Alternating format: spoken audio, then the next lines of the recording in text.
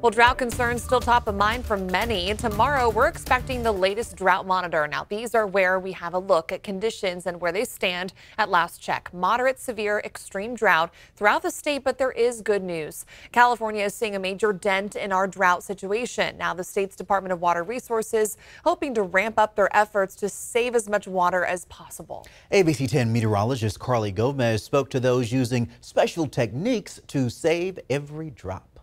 California is such a vast state with such different landscapes. You know, it really depends on where you live in the state. It's it's almost feast or famine. Record setting rain in October and a record snow for the Central Sierra in December is proving to be a great start to the water year. While the drought situation has improved, water regulators know there's no time to waste in conserving this water. Obviously, now that we're able to almost count every grain of snow at this point with a lot of these emerging and proven technologies that are out there, we're actually planning on using that and, and almost redoing how we've always done our reservoir operations. Department of Water Resources Manager Sean de Guzman is talking about LIDAR, light detection and ranging technology. Airborne snow observatories were able to capture snow depth and snow water equivalent basically in any five meter grid um, across the state. Light pulses combined with other map data from the air creates a three dimensional image of our snow accumulation. Now we're looking at